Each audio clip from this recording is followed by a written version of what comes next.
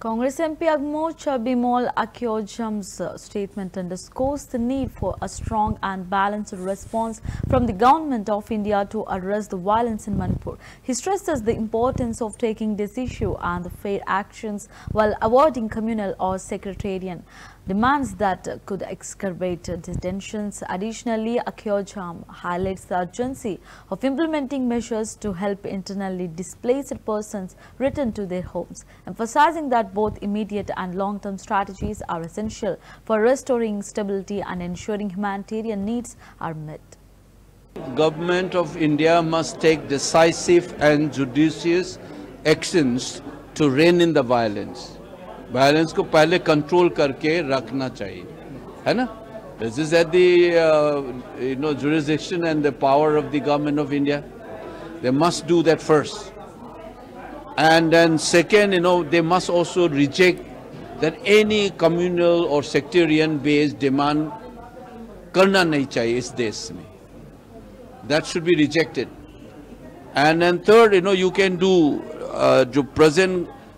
Victims है violence का, उसका जो प्रेजेंट कंडीशन का जो देखभाल ठीक से करना चाहिए and then this people should be you know arrangement should be made major should be taken up so that the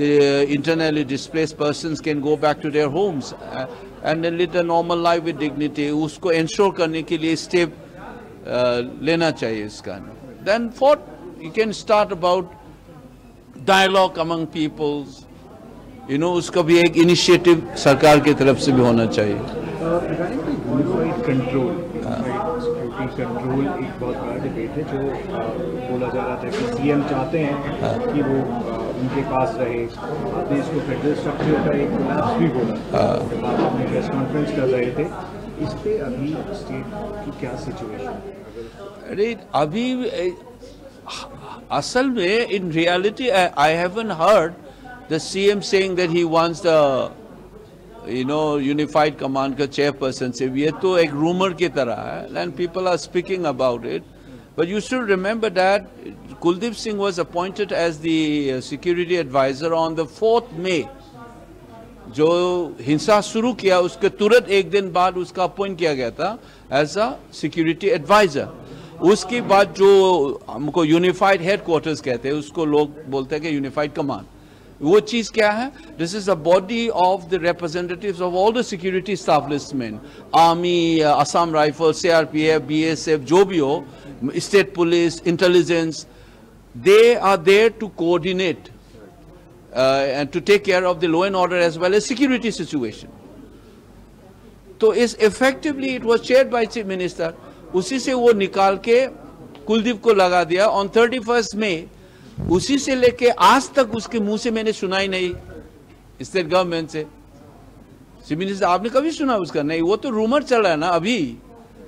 मैं तो ये शुरू से बोल रहा हूँ if you have looked at my interview on June nine on national media through Karan Thapar I raise this issues I said this is an erosion of federal structures today it may be Manipur it can happen anywhere ये मैंने बोला so that is why today said it is also destruction of the constitutional structures simply not only destroying Manipur but जो constitution mechanism है उसमें भी हमला है एक तरह का government of India must take decisive and judicious actions to rein in the violence violence को पहले कंट्रोल करके रखना चाहिए है ना this is at the you know jurisdiction and the power of the government of India They must do that first.